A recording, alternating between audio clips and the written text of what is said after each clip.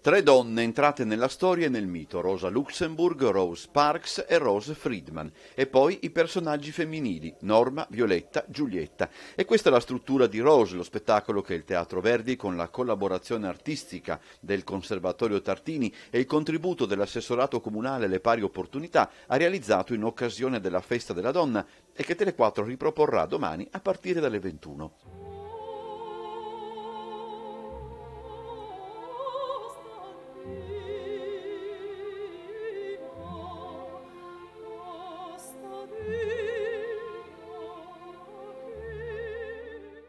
Concepito da Isabel Russinova per quanto concerne i testi, affidato al maestro Stéphanie Pardureux per l'orchestra, Rose è anche e soprattutto un tributo alla creatività femminile. I costumi sono stati ideati da Regina Schrecker, uno spettacolo Rose che fa riflettere soprattutto su quanto il teatro musicale punti, verrebbe da dire da sempre, su personaggi femminili, magari languidi, ma dotati di un grande coraggio che li pone ai vertici di un immaginario collettivo che ai noi, per ora, non sembra volersi altrimenti concretizzare.